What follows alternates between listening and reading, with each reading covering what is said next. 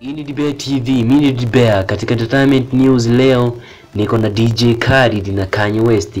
Kanye West bana amemwomba msamaha DJ Khaled ni kutokana na matukio mbalimbali ya Kanye West kushindwa kurespondi na kukubali baadhi ya korabu ambazo DJ Khaled alikuwa akimwomba na mara nyingi sana DJ Khaled amekuwa akimfuata na kumwomba wafanye korabo na ishu zingine za kimuziki, lakini mnyama Kanye West amekuwa akichomoa diri hizo na kumpangulia gia. Sasa Kanye West ameingia kwenye headline wiki hii e, ni kutokana na kumwomba msamaha kumuomba msamaha Big Brother DJ Khaled kwamba amsamehe kutokana na ubizi labda na mambo anayofanya binafsi yaliyomfanya akawa busy na kushindwa kurespondi dili hizo za music.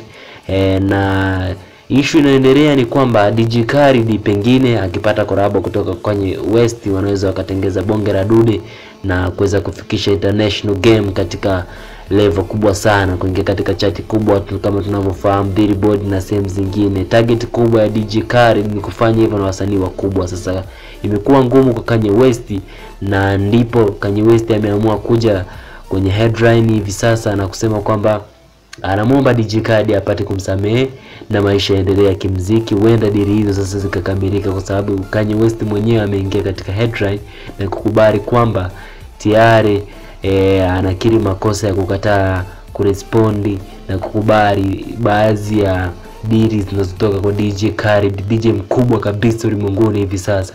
Ikumbuke kwamba DJ Khaled anatamba na albamu yake inaitwa God Did.